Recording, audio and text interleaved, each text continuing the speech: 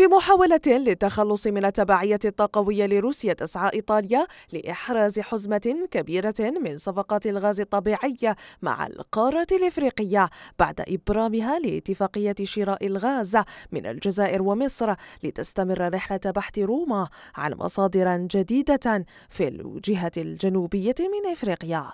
إيطاليا على سائر آه، بعض الدول الأوروبية هي على قدم وساق من أجل تنويع مصادر الطاقة ويعني آه، إيجاد آه، حل يعني لتعويض الغاز الروسي. فرأينا في الأسابيع الماضية كيف كانت الوفود الإيطالية تتوافد على الجزائر. توفير إمدادات سنوية إضافية بواقع 5 مليارات متر مكعب و1.5 مليار متر مكعب من جمهورية الكونغو وأنغولا خطوة قد تمكن إيطاليا من استبدال أكثر من نصف كمية الطاقة التي تحصل عليها من روسيا في وقت مبكر من العام المقبل. فيه الآن وفود إيطاليا كذلك آه، يعني تقوم يعني بمحادثات في الكونغو وحتى ربما جنوب إفريقيا من أجل آه، تنويع مصادر الطاقة. في رحلة البحث عن صفقات ضخمة يقوم بها عملاق الطاقة الإيطالي إيني وجد في القارة السمراء خيارا جذابا